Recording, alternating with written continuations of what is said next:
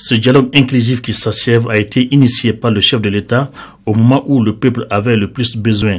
Rencontre de haute portée pour l'ensemble des Maliens de l'intérieur aussi bien que de la diaspora a permis au peuple de dire ce qu'il avait sur le cœur. La recherche de solutions consensuelles de la crise passe par là.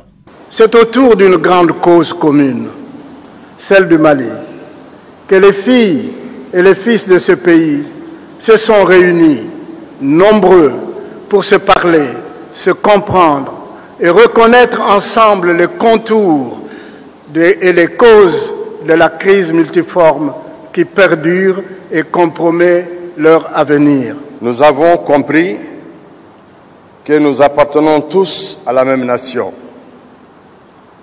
Nous avons compris que sept ans de crise sans discontinuer a fragilisé notre État et nos institutions.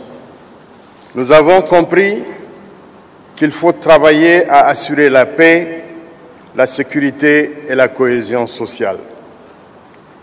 Nous avons compris qu'il faut un sursaut national pour dépasser nos divergences.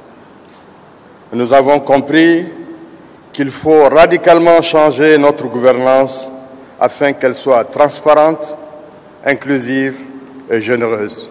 Tout s'est passé sans incident honneur aux fils du pays qui se sont fait des concessions.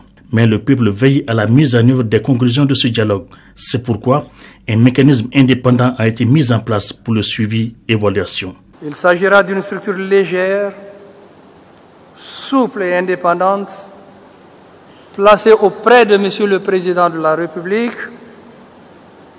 pour l'assister dans l'orientation, la coordination, et le pilotage de l'exécution des résolutions et recommandations issues du dialogue national inclusif. Ces résolutions et recommandations constitueront un plan d'action. L'exécution de ce plan d'action relevera des missions et prérogatives du gouvernement de la République.